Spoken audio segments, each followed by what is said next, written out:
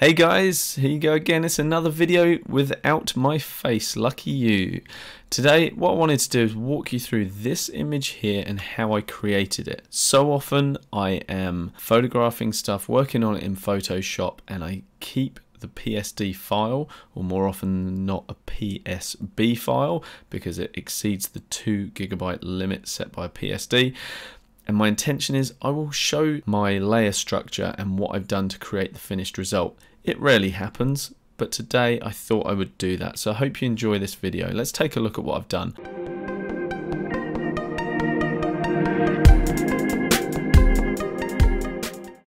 Before we get into the structure of the layers, I'll just tell you a little bit about how I captured this image.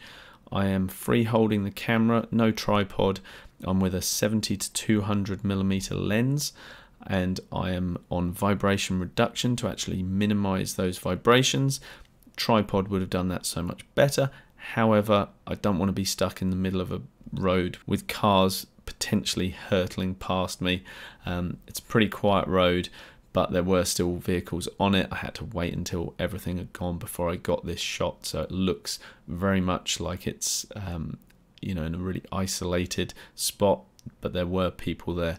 There are more than 10 people that live in New Zealand, and I saw some of them, which was cool. I shot this on my Nikon D850, but that's kind of irrelevant. Whatever camera you've got nowadays is going to do a great job. I just love the high resolution of that sensor, but you'd be able to capture this with whatever gear you're using. But a telephoto lens certainly helps to bring that mountain more into the foreground and more of a dominant presence within the frame. Some of you faced with this particular file may think, where am I going to take this image? How am I going to finesse this so it's a really nice finished piece? I suggest you have an idea in your mind before you even get started as to what you want to do with a photo. I knew that I needed to clean this image up in terms of the telegraph poles and the little markers at the side of the road. I also knew that I wanted to cool off the background of the image so we had a warmer foreground and a nice rich cool blue in the background. So those are my kind of main aims but along the way there were other things and artistic choices that I made. So let's have a look at the layers and see what I did. Here you can see on this in the layers panel here Oh my gosh, there's actually a lot of work that's gone into this particular image. Um, now my intention is not to alter too dramatically the original capture, but I always feel that post-production is a really important part of the photographic process and taking the image that was captured in camera to a place where you feel it should be. That's just so important. So let's see what I've done. If I hold Alt and click the eyeball on the very bottom layer, we're going to see what the image looked like before I did anything. So let's see, this is our after and this is our before. This was brought into Photoshop straight out of Lightroom and if I double click it, you will actually see that it's actually um, a fully editable raw file. So you can see the minor adjustments that I made in Lightroom to the original file. Um, but I love to bring it in as an editable raw layer so that I can make different adjustments to different areas of the photo with all that raw data still there and those changes I can then mask out where I feel it's necessary. So if I click OK, let's jump straight to the next layer and have a look what I did next. In the next layer you can see here that we've boosted up the shadow detail in the trees. I didn't want to do that through the whole image, uh, just through the trees there. I thought that'd be important to bring more detail through there.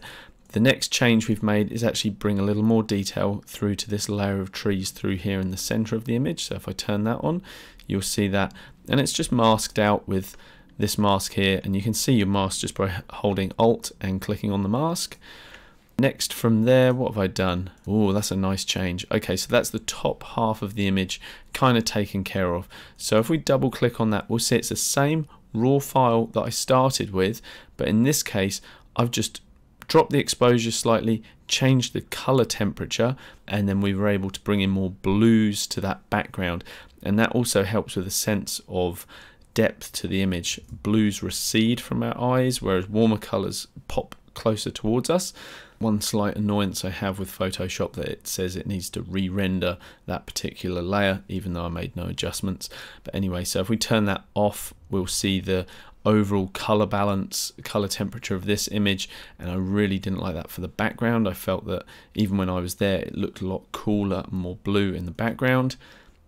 By masking that in, we're able to introduce all of that that cool blue in there. And you'll also see by using a raw layer I'm actually able to bring back the detail that was initially lost in the clouds here. We're bleaching out rather drastically there. We can bring all of that back with an editable raw layer. Fantastic. Okay let's see what I did next. Okay just darken the sky down in that upper right here. So most of the changes I'm making beyond this point are minor aesthetic changes um, just to sort of finesse the image so from there, okay, here we can see I'm just adding a little bit of orange from the sunlight coming over from left. That's hitting the mountains here, and I really wanted to work on that orange. So let's have a look at my mask there. All I would have done is use the uh, select color range tool, and I would have been clicking around here somewhere just to select that particular color. Let's cancel that, and then using again another raw layer and just introducing a much more warm color temperature just to that part masked in there. And then from there I've got that within its own folder. Uh, not quite sure why I did that. I'm sure I had a great reason at the time. And the next thing we've done this layer here usually I will call that a I will type retouch and have that labeled as a retouch layer. So you can see our before and our after and it is purely just a cleaning up exercise at that point. So what I've done, I would have just used the um, spot healing brush tool here and I would have painted away those rather eye-catching telegraph poles. Now the astute viewer will notice something odd about this cleanup uh, and that is that our telephone telegraph wires stop abruptly just here. Where do they go? Uh, I think they just disappeared because Mr. Turnham got a little bit lazy, couldn't be bothered to clean all of this up. I probably should have done. But I feel that the retouch layer and just cleaning things up is really important. Even things like, if you look at the top right hand corner here, I've actually just darkened that down ever so slightly. Um, the top left as well. Little things at, towards the edge of the frame that are distracting, like the busyness of the clouds here, I find detract from the rather cool arch-like effect of the clouds running through the middle. So without this up here, you would be focusing more on this arch. That's why I've just taken a blue brush and just kind of painted over that area there. I've just sampled the sky over this side and painted that over the top. So our before and after for the clouds, looking good. The next thing I've done is I've added a black and white layer in soft light and I've done that at 59% opacity. It just adds a little bit of contrast. Uh, beyond that, if we have a little look, we've got curves here, and they're just brightening up the uh, the top of the mountains there. Just because they were getting a little bit distracting, there was too much contrast there. So I've just masked the mountains and literally just used a curve that has just boosted up the shadows here. So if we turn that off and on, we can see that brightens out. So everything we're doing is really subtle, really minor, but it all adds to the overall effect. What have we done next? Okay, we're brightening the sky, and that's just to create a sense of layering. So the layer we've got in the foreground is rich and dark. We've got a kind of mid layer through here, and then we're much lighter and softer through the sky now. So without it, the sky is quite dark and again subtlety we've just brightened that up ever so slightly. Now I've decided that we'd like to boost the shadows. Again you barely notice it but it's enough. I've then used the monster shortcut control shift alt and E to flatten the layer. And from there you'll notice a little change going on here. Now this is where creative license comes in and some people may go, oh, you can't do that, you've altered reality. Um, personally, if it's subtle, if it enhances your vision as an artist. And I'm not saying to people, this is exactly how this mountain looks. I don't even know what mountain this is, to be honest. Just aesthetically, I felt that the central peak of the mountain needed to be raised slightly. So I've literally come in with Liquify and raised it ever so slightly and at the same time I've moved the clouds a little bit as I've brought that up. I haven't been super precise because again that's kind of embracing this arch like effect that these clouds are having here. Um, and you'll see that um, the telegraph wires that I was like oh I'm going to leave them earlier I've now gone nah they got to go. They have to go. So it's a much cleaner image now. I've then used a detail extractor filter and it's subtle it's subtle we're at 25% but if I boost that to 100% you'll see what's going on. So that's it off that's it on. It's just adding some details through there and I used Nik Software Color Efex Pro to achieve this. Uh, nowadays I would probably jump into Luminar. Uh, you guys may have seen my videos recently where I've um, I've really embraced the Luminar 3, Luminar 4, they're doing a fantastic job with a lot of these filters that are AI driven. Saves a lot of the heavy lifting for you, which is great. Incidentally, if you want to get your hands on a copy of that, I have a discount code which is ATSky10. I'll put a link in the description below. Dive in there, get yourself that. It's like $100 or something. It's a really good investment, in my opinion. Let's move on to the next filter, which is sunlight, which may even have come from the golden hour filter within Luminar, perhaps. Um, can't quite remember now, but it's just given us a bit of a warm kind of softening to this image. And here we go. This is Color Efex Pro again, which I really love.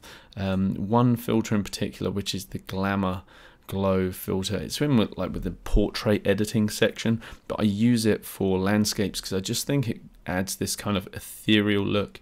If you know the Orton effect, it's kind of like emulating the Orton effect, which um, which is a softening of the image, but done in a I find tasteful, subtle way. So you don't want to be too heavy-handed with it, um, which I've not been in this case. I don't feel.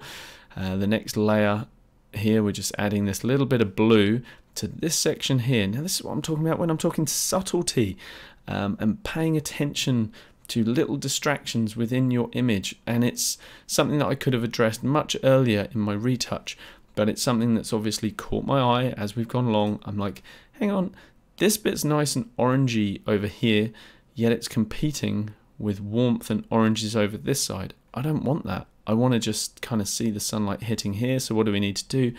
Add some contrast. We do that by introducing the opposite color of orange a bit of blue purple kind of toning here again, I'm feeling we're heading in a good direction here. Here, I've now gone, okay, let's add more contrast, and we've done that by enriching that color with a curves layer. So all I've done is actually just bring the curve down. So if we see me doing that, if you push it all the way up, we head towards white. But I brought it down and that's saturated that color that's there on the hill. Nice one. Uh, beyond here, everything I've done beyond this point is purely for color toning. So what I'm going to do is actually grab all of these and put them into a group. I do that by selecting all of those and just grouping them and we'll just call that color toning and we'll turn it on and off so we can see what what effect that's having so if I rattle through putting all those eye icons on and we turn that off and we turn that on whether or not you like it personal preference. Color toning and color grading is very much a personal preference. I'm liking this. It's obviously put some more yellow in the highlights. Uh, it's increased the saturation slightly and it's added just a little bit more warmth to the oranges. So let's turn that off, turn that on, and you can see we've got a plethora of layers going on here. What have we got? Nine of them just to create this effect really like you might be able to achieve a similar thing in maybe three layers but i find that it's an artistic process where you can just keep adding layer on layer on layer until you finally got something you you like so let's go through them really quickly one by one so the first one is a blue layer which we're applying through the trees here at just 15% it's so subtle some of these I might need to crank them all the way up so you can see what we're actually doing. There we are at 100%. That is the effect that we're having. This is the mask that we've got here and that would have been derived from coming to the channels and actually working in either the blue, the green, probably the red channel as a starting point and then ending up with something that looks a little more like that. But that at that kind of percentage, 100%, far too much. Let's put it back to 15 and move on to the next one. And here we're just putting a little bit of soft oranges through the clouds and on the snow there just to warm it up slightly. Um, again, that's just in normal blending mode. So we're not even using any of these other blending modes. We're just in normal at 9%. Before, after, subtle. What have we done now? Added a little bit more yellow to a more localized part of the highlights. So if we look at the, the mask for this one, the whites, which is showing through the color toning, so white reveals, black conceals, we are seeing the, the areas, the white areas, where this orange will be affecting. And now if we look at the mask for the yellow, it's much more refined. The, the white, it's much more intensely focused just on the highlights. So we've got a more yellowy look right on the really brightest highlights. At this point, I felt like we were a little too cool in the trees in the foreground, so I've obviously added just a little bit of warmth here. So again, if I bump this up here, you'll see what we're actually doing in terms of adding color, but we don't want to be at 100%. I like subtlety, and I hope you do too. Now I felt like everything's warm, including the road, but what if we added contrast to the road compared to the, the dry brush, the trees? So I've masked out the road and neutralized it by adding blue. We're at 39% on soft light, but if we push that all the way, you can see that that blue is kind of harmonizing with the mountains and the sky. Um, so I had that at 39% with retrospect. I might have even pushed that up a little higher, but let's leave it there. Hue saturation, we're just saturating that slightly. We've literally just bumped the saturation up 16%. The next filter we've done here, sorry, the next layer we've done here is just a soft light layer with a grey. You're thinking, well, what's that going to do in soft light? It'll be a slightly darker grey, and that's going to add contrast. If it was a 50% grey, it's going to do nothing, nothing at all. Uh, but we were sat at 45%. We were actually darkening that grey. So if I just show you by dropping this down, you'll see that we get darker and add contrast. If I go the other way, we get lighter and reduce contrast. So at 50% we're doing nothing, but we, we actually had that sat down just slightly below that at 45%, just adding a little bit of contrast there. And the final two changes I made, one was to curves, which was creating a vignette. So you can see my mask, I'm whatever changes I've made with my curve are affecting this white area around here. Let's double click, we've darkened that down and we've even dropped the whites so that we have no pure whites at the edge of our frame and we have no pure blacks at the edge of the frame because we've lifted those up. If I lift that up there, you'll see the area that's being affected by that but rather than being pure black, we're just lifting it ever so slightly. So this is actually reducing contrast and darkening the image around there. So it's a much more refined way to get a really nice vignette going on. I love that. So if we jump all the way back to our starting point, let's do a before and after. Here we go. Here's before and here's after. Here's before and here's after hopefully guys you like the end result and hope you've enjoyed this little walkthrough of all my layering and processing um, because I'm about to flatten this. Get rid of the PSB file which is currently sitting around 7 or 8 gigabytes of data and I'm going to convert this to a TIFF. So that is the last time these layers will ever exist. Hope you enjoyed and I'll catch you in another video. Cheers guys. Bye for now Thank you.